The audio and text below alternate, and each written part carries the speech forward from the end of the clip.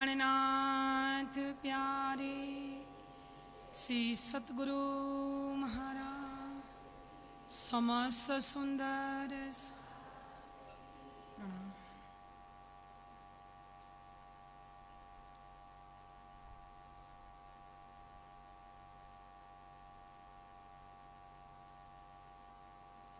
कदमों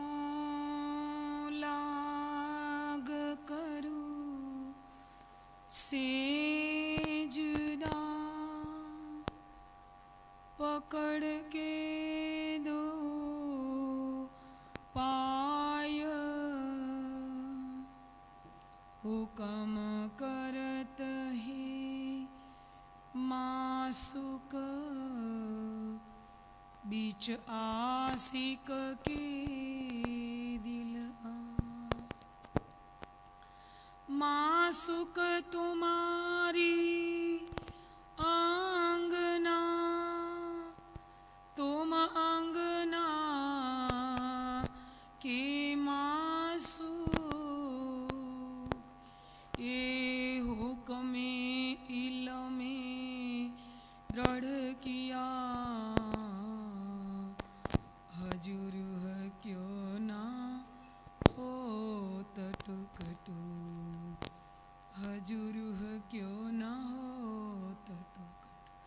टुकटू श्री प्राणनाथ प्यारे की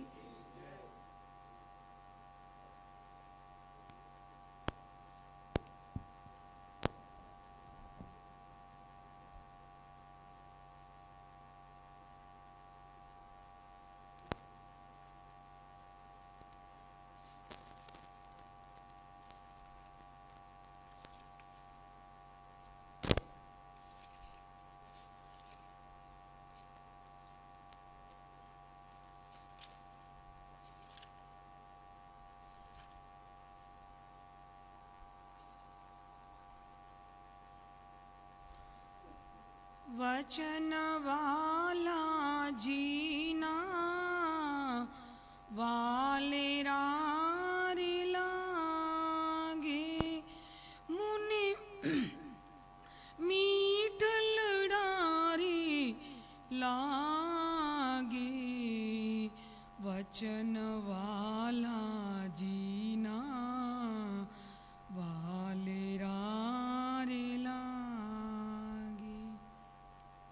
સંભળાવો ચર્ચા મીઠડી વાણ રે વચન જે તાર તમ તણારે હવે નહીં મૂકું નિર્વાણ રે વચન વાલાજીના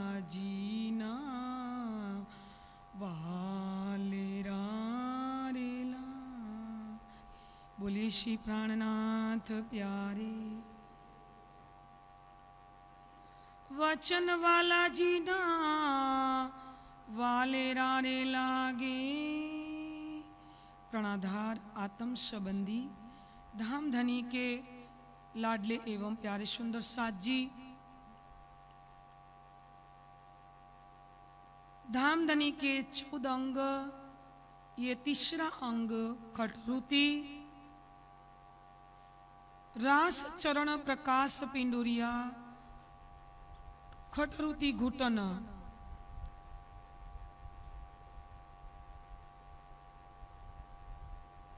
ये शटरुति जिसमें इंद्रावती की आत्म ने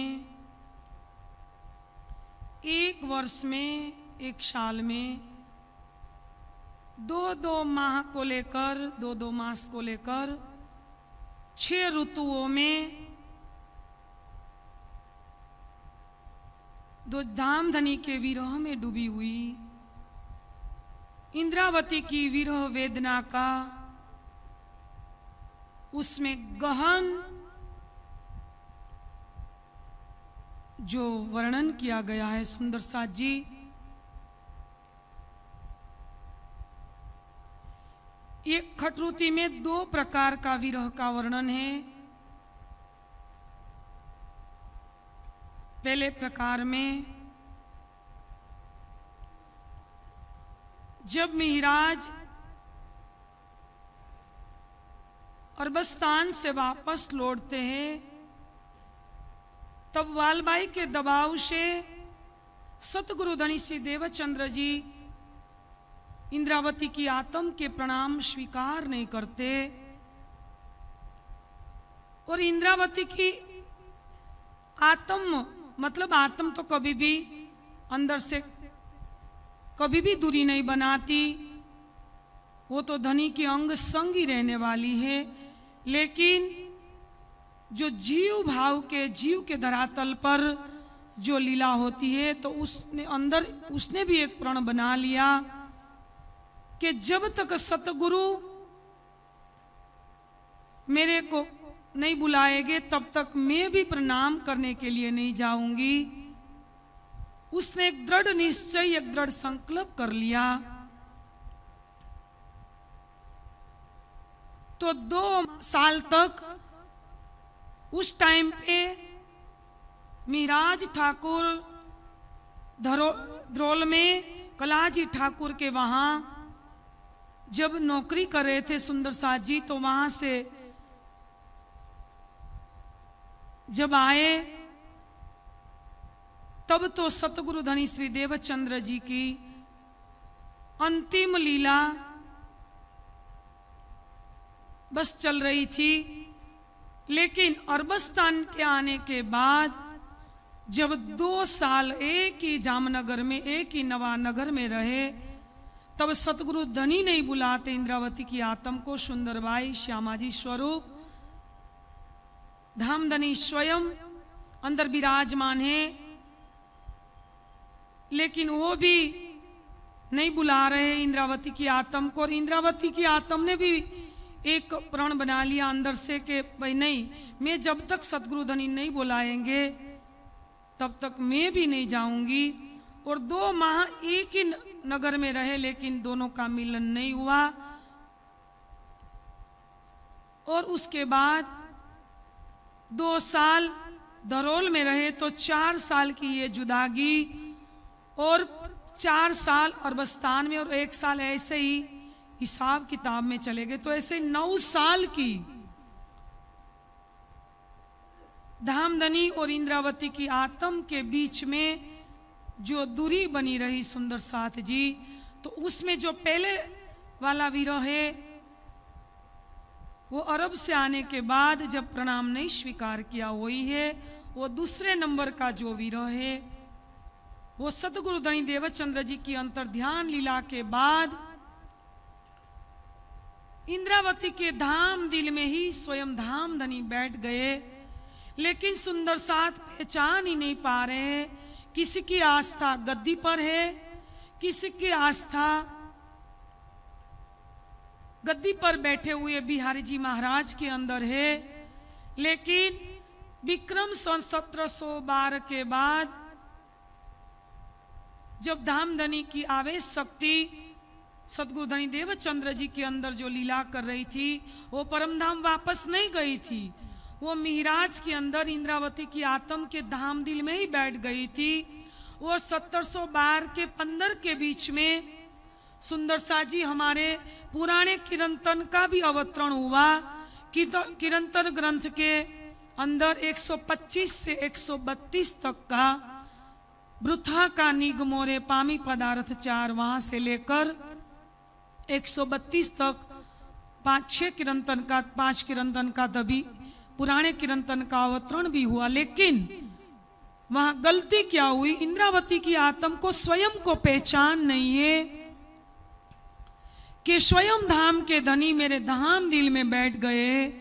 सुंदर साजी तो उस टाइम पे जो एक पहचान नहीं कर पाए, वैसे तो गांग जी भाई के घर में भी जब सतगुरु धनी देवचंद्र जी की चर्चा, जब धनबाई ने जो पहचान की गांगजी बाई के अंदर बैठी हुई, धनबाई की आत्म ने तो वहाँ से हमारी जागनी अभियान शुरू हुआ, वहाँ से हमारी जागनी यात्रा ही प्रारंभ हुई। तो वहाँ भी चर्चा रात दिन चलती थी, कहीं आड़ी का लीला ही होती रहती थी। लेकिन उसके बाद जब बगीचे में, जब गांगजी भाई के, जब आज का हाल का जो नवतनपुरी है तो वहाँ भी सतगुरु धनी देवचंद्र जी के अंदर बैठे हुए धाम धनी ने जो चर्चा प्रारंभ की, वहाँ भी व्रज की, रास की और धाम की चर्चा चल रही है। लेकिन इंद्रावती की आत्म अपने पर स्वयं लेकर बोल रही है, लेकिन आज सुंदर साथ जी, आज अभी हम इस टाइम पे कौन, किसको कह रहा है? लेकिन आज आज हम हमारे पर घटाएँगे ने, कि हमारे जीव ने किसी ने सत, सरकासी के टाइम पे तारतम ले लिया किसी ने उस टाइम के बाद स्वा, पूज्य स्वामी जी के सानिध्य में आने के बाद उसके पास तारतम लिया। और आज कितने सालों से हम भी चर्चा सुनते आ रहे सुंदर सा जी।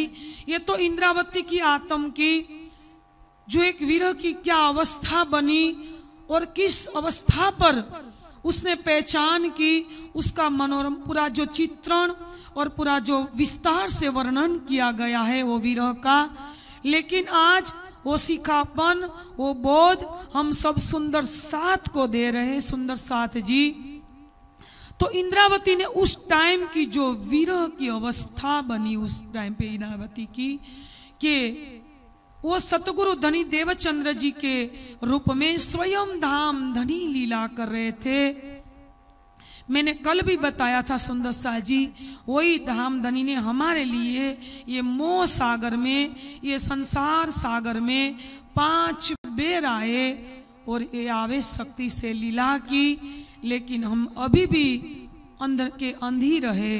धामधनी बता रहे सुंदर सा जी, अंध ने आँख तो रुदे तणी पर हमने माहे न बाहर। और हम अर्जी में भी बोलते हैं कि जन्म अंधे जो हम होते पिया, सो तुम देखी थे किए। लेकिन आज इंद्रावती की आत्म जो हमको बता रही है उस वीर अवस्था की कि सतगुरु धनी देव चंद्र जी जब चर्चा कर रहे थे चौथे दिन में तो मैं पहचान नहीं पाई। स्वयं धाम के धनी आए थे, ब्रज की लीला करते करते वो प्रत्यक्ष यहाँ लीला खड़ी कर देते थे आदि का लीला के रूप में। चाहे गांगजी भाई का घर हो, वहाँ हीरबाई, जो गांगजी भाई की बड़े भाई जो खेता भाई उसकी धर्म पत्नी हिरबाई अपने गांगजी भाई के घर में जब रसोई बनाती थी तो श्री कृष्ण के रूप में तीन बार स्वयं धाम के धनी कृष्ण के रूप में भोजन आरोगने के लिए आते थे। तभी भी सुंदर साथ पहचान नहीं पाए। ये सभी बातों को लेकर के वचन वाला जीना वाले रारे लागे या इंद्रावती की आत्म अपने पर स्वयं घटा रही है, लेकिन आज सब सुंदर साथ अपने पर ही ये पूरा प्रसंग ले ले कि इंद्रावती की आत्म अपने पर पूरा दर्द ले रही है, विरह की अवस्था जो बनाई उसने कि स्वयं धाम के धनी रास की लीला का वर्णन करते थे। और ये गांगजी भाई के घर में जब चर्चा चलती थी ने तो बीतक साहिब में भी सुंदर शाह जी बताया कि पूर जोश में चर्चा जो चला हुई सुंदर शाह जी चर्चा का जो जो रूप है वो भाव काट दिखा हुई। वही भाव में पहुंचाते थे स्वयं धाम के धनी। देवचंद्र जी के अंदर बैठी हुई श्यामा जी के धाम दिल में बैठकर सुंदर सा जी स्वयं धाम के धनी। बैठे तो, तो गांगजी बाई के घर में लेकिन पहुंचाते थे वज की व्रज की लीला में पहुंचाते थे रास की लीला में। के सुंदर सा जी हम ब्रज में आए थे। ग्यारह साल हमने लीला की। धामधनी की आवेश की लीला कृष्ण जी के तन में हुई, लेकिन हम पहचान नहीं पाए। ग्यारह साल के बाद हम वही अंध के अंध रहे, क्योंकि पूरी ये काल माया के ब्रह्मांड में जो ब्रज की लीला हुई ने, पूरी अंधकार की लीला रही। वैसे ही सदगुरु धनी देवचंद्र जी रास की लीला को याद दिलाते थे कि सुंदर साथ जी हमने रास में, योग माया ब्रह्मांड में कैसी लीला की? वहाँ सतगुरु धनी देवचंद्र जी बता रहे गांगजी भाई के घर में, चाकला मंदिर में, के सुंदर सा जी केवल ब्रह्म में आपकी सुरता को ले जाइए। और वहाँ हम हम चढ़ी की, आँख में चामनी की, कोणिया की गुमलड़े की और आम की जो जो हम रामते खेलते थे, वही रामत खेलते खेलते धनी कैसे अंतर ध्यान हुए? फिर कैसे हमने अनुकरण लीला की? फिर कैसे विरह किया? और कैसे धनी फिर प्रकट हुए? वही लीला को आप याद कीजिए। तो इंद्रावती जी, वही लीला को याद कर रही है और उस अवस्था पर विरह के भाव को प्रकट कर रही है। कि हे धामदनी तुम स्वयं प्रकट हो जाइए। मेरे सामने प्रत्यक्ष हो जाइए। सुंदरसा जी, विरह की परिभाषा यही होती है कि हृदय से निकलने वाली आहो का, जो एक गंजान गंज रूप, जो घनीभूत रूप, उसको कहते हैं विरह। और विरहणी की अवस्था कैसी होती है? धामदनी बता रहे कलश में विरह देवी बैठने उठने भी देवे। लोट पोट भी ना करे हुक हुक श्वास ले। प्रणधार सुंदर सा जी आ, कि एक वर्ष की दो दो मास सेठ। लेकिन यह प्रकरण जो वचन वाला जी ना वाले रारे लागे, अधिक मास जेठ के बाद, उसके बाद भी मुकुट के रूप में। उसके बाद मुकुट जैसे एक मंदिर होता ने, मंदिर के ऊपर कलश के रूप में जो एक मुकुट और उसके पर एक ध्वजा लगती। तो मुकुट के रूप में मतलब विरह की वही अवस्था, एक पराकाष्ठा की अवस्था। इंद्रावती के हृदय की एक आह का जो एक पुकार है कि बस धामधनी आप मेरे प्रत्यक्ष आ जाइए, मेरे सामने आ जाइए। जो आप नहीं आएँगे ने तो मैं अभी इस हाल में, इस तत्काल यही क्षण में, मैं शरीर छोड़ दूँगी। सुंदर सा जी, हम आज कितने सालों से ये वाणी पढ़ते आ रहे हैं। इंद्रावती का माध्यम बनाकर धामधनी, मैंने अभी थोड़ी देर पहले ही आपको बताया कि आज धामधनी हमको यही, पल में यही क्षण में हमको बता रहे मैं एक बात बताऊँ, सुंदर साथ जी अर्जुन की बात अभी अभी मेरे को याद आई। जब अर्जुन के कक्ष में कोई जाता था जब वो अपने कक्ष में सोए होते थे तो उसके कक्ष में कोई जाता था तो उसके हृदय से एक पुकार सबको सुनने को मिलती थी, कृष्ण कृष्ण कृष्ण कृष्ण। देखो वो वैकुंठ या स्वर्ग के युधिष्ठिर सिर्फ़ स्वर्ग तक पहुँचे। अर्जुन को मुक्ति चाहिए थी ना, गीता में बताया। उसको तो यही था कि योगेश्वर मुक्ति दे देंगे। लेकिन योगेश्वर ने साफ़ साफ़ पंद्रह में पुरुषोत्तम योग में, अक्षर ब्रह्म योग में बता दिया कि अर्जुन, मैं मुक्ति नहीं दिला सकूँगा। क्योंकि मुक्ति देने की मेरी सक्षमता, मेरी सत्ता या मेरे अधिकार नहीं है। मुक्ति तो अनन्य प्रेम लक्षणा भक्ति से ही प्राप्त होगी और उत्तम पुरुष अक्षरातीति आपको दिला सकेगा। तभी बोला कि, पुरुष पर पार्थ लभ्यस्तु, भक्तया लभ्यस्तु अनन्या। हे पार्थ हे अर्जुन, तेरे को मुक्ति चाहिए ने? तू अनन्य प्रेम लक्षणा, भक्ति को प्राप्त कर, तभी तेरे को मुक्ति मिलेगी। देखो, अर्जुन, पूरा जीवन वो सखा बनकर कृष्ण के साथ रहा और पूरा जीवन उसके साथ बिताया तो भी स्वर्ग या वैकुंठ तक की प्राप्त हुई। उसके दिल से यही पुकार निकल रही है कि कृष्ण कृष्ण और कृष्ण। यही देखो सुंदर सा जी प्रहलाद, एक विष्णु भगवान के भक्त, एक वैकुंठ के भक्त और एक थम्ब के रूप में थम्ब के अंदर वो अपने विष्णु को नुषि के रूप में दिखा रहे सुंदर साथ जी। देखो उसका बल। वो तो नहीं, एक सबरी को देखो, राम की जो एक भक्त, उसके उसके जो गुरु थे, मातंग ऋषि उसने बताया था कि तेरे झोपड़ी में एक दिन तेरी कुटीर में राम आएँगे। तो नब्बे साल तक धैर्य रखा। कितनी बुद्धि हो गई, कितनी बड़ी हो गई, तब तक वही आह मतलब एक एक पल, एक एक अंदर से आह जो राम के लिए निकल रही। समझ में आया मेरी बात को? सुंदर साजी जो संसार के ये कोई वैंकुट तक पहुँचने वाले या कोई स्वर्ग तक पहुँचने वाले के जीव। अरे, ये माया के जीव, एक मजनू, एक लैला, मजनू के रोम रोम में लेला बसी हुई है।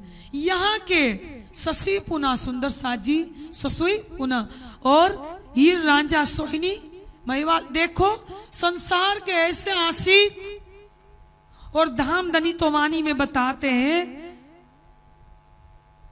कि गुनेगारों के दिल पर अर्श कर बैठे, मेहरबान, हमने कितना गुना किया होगा, कितने अवगुण किए होंगे। और इंद्रावती की आत्म बोल, अपने पर लेकर सुंदर साजी वाणी में बोल रही कि धनी, मैं तो अवगुण करती रही और तुम तो गुण भरे सागर, गुण भरे निधान, सकल गुण निधान तो भी तुम मेरे पर कृपा ही करते रहे। सुंदर साजी हम इतनी संख्या में बैठे, कभी भी हमने हमारे पर कभी भी ये दोष के मतलब जो भी हो, हमने हमें पर, हमारे पर कभी ये दोष लिए। हम दूसरे का दोष देखते रहते हैं। देखो इंद्रावती की आत्म, पाने के बाद भी अपने पर ही वो ले रही है, वो ये बता रही है कि वचन वाला जीना वाले रारे लागे, मुने मीठल रारे लागे। हे धाम के धनी, आप जो, ये बात तो पाँचवें दिन की है, और बात करी है चौथे दिन की इंद्रावती की आत्म। ये पाँचवें दिन में वाणी उतरी ना अबसा में, कल मैंने विस्तार से बता दिया था, आज मैं वही बात पर विस्तार से नहीं गई।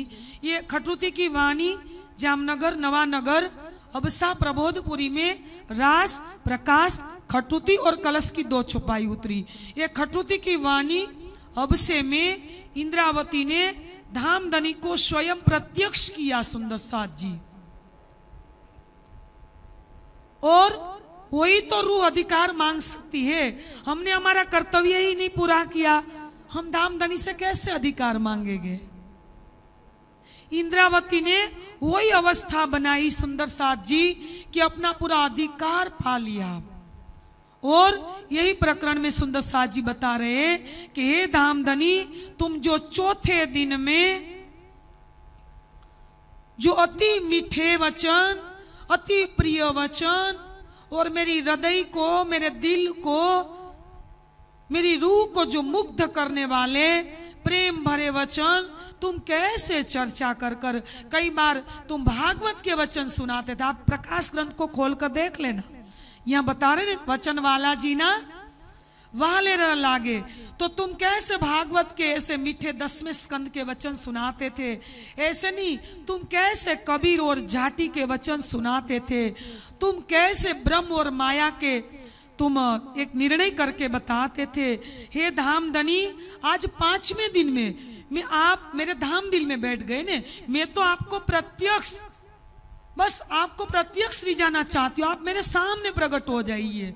आप चौथे दिन की लीला को याद कर कर, वही विरम इंद्रावती की आत्म डूबी है कि धाम धनी मैं चौथे दिन में आपको पहचान लिया होता ने तो साक्षात वजूद में, जो सतगुरु धनी देवचंद्र जी नामक का तन था ने नाम का, वही तन में मैं रिझा लेती। तो सुंदर साथ जी, पाँचवें दिन में जो इंद्रावती ने वो विरह किया ने, आज वही लीला हमारे पर घटित हो रही आप अपने दिल में अपने अपने स्वयं को पूछ लीजिए। आज हमारे सामने सुंदर साथ जी, ऐसे कई समय बीत गए। हम जो पहचान धामधनी की, ये वाणी की नहीं करेंगे। हमारे सामने सुंदर साथ जी, मैंने अभी भी बोला कि आज कई मीठे वचन, ऐसे ही सुंदर साथ जी प्रवाहित होते रहे, लेकिन जो आज इस टाइम पे हम नहीं ये पहचान कर लेंगे तो हमारे पर यही घटना घटित होगी जो इंद्रावती पर घटी। लेकिन इंद्रावती ने तो पा लिया कि हो गया, चलो सुंदर साथ जी दो मिनट में पूरा कर दू। कि वचन वाला जीना तो हे धामधनी, और हम कैसे सुंदर साजी, प्रेम के मीठे मीठे वचन, मीठी जुबा मीठा रूह, मीठा करे प्यार, मीठी रूहे, मीठे अरस को मीठा करे विचार। तो हमारे धाम धनी मीठे, हम मीठे, हम प्रेम के स्वरूप, हमारे धाम धनी प्रेम के स्वरूप। तो हमारे अंदर स्वयं धाम धनी मूल स्वरूप के आदेश से, ये आवेश के स्वरूप, चाहे इंद्रावती के धाम दिल में बैठे हो, या सतगुरु के धाम दिल में बैठे थे या अभी छठे दिन में किसी के सुंदर साजी सतगुरु के धाम दिल में बैठकर जो वचन सुना रहे और हम सबको प्रबोधित कर रहे कि हे सुंदर साज जी ये ब्रह्मात्मा की रहनी कैसी होनी चाहिए? जो इंद्रावती ने चल के दिखाया, सुंदरबाई ने चल के दिखाया, अमलावती ने चल के दिखाया, ऐसे 500 मोमिन ब्रह्मात्माओं ने चल के दिखाया कि मोमिन कैसी होती है कि पार वतन जो सुहागनी, जो कदी भूली वो तन, जो नज़र तहा निदान, वो खोजे अपने आप को और खोजे अपनों घर, ऐसी ब्रह्मात्मा की रहनी होती है। दे भरोसा ना करे, पिया मिलन की आस, जो इंद्रावती ने करके दिखाया। और आज पाँचवें दिन में हबसा में धाम धनी को प्रत्यक्ष किया, वही अवस्था पर पहुंचकर तो आज छठे दिन में आज सुंदर सा जी हमें वही सीख ले ले कि जो इंद्रावती ने और 400 साल पहले जो 1722 से दीव बंदर से चलकर पन्ना तक जो ब्रह्मात्माओं ने चल के दिखाया, धामधनी स्वयं आए, हमको तो नहीं लगी थी, उसको लगी थी। तो वो लालदासी ठट्ठा नगर से नहीं गए धामधनी को मिलने के लिए, धामधनी स्वयं ठट्ठा नगर में आए, वैसे ही स्थान बदला है, जगह बदली है, धामधनी तो वही है आज। आज चाहे सरसावा की धरती पर बैठे हो, या चाहे मैं राजकोट की धरती पर बैठी हूँ, या चाहे ठट्ठा नगर में लालदास जी बैठे थे छत्र साल वही है। बुंदेलखंड वही है स्थिर, पन्ना धाम बदला सॉरी स्थान बदला। स्थान आज सरसावा की धरती है। चाहे आज हमारे पूज्य स्वामी जी के मुखारविंद से वचन हो, चाहे कोई भी हमारे ब्रह्मात्माओं के मुखारविंद से वचन हो तो सुंदर सा जी जैसे इंद्रावती की आत्म ने या और ब्रह्मात्माओं ने चल के दिखाया, वही राह पर हम भी चले। ऐसे सुंदर साथ जी विरह के वचन को हम हमारे दिल में उतार कर वही राह पर हम चले, ऐसा कहकर हम चौपाई को दोहराए वचन वाला जी ना वाले रारे लागे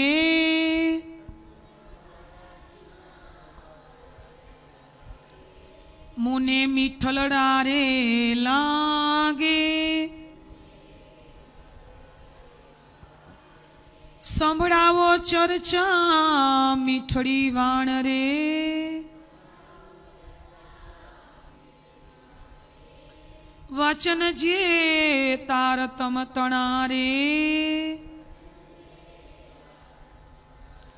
હવે નહીં મૂકું નિર્વાણજી હવે નહીં મૂકું નિર્વાણ બોલીએ શ્રી પ્રાણના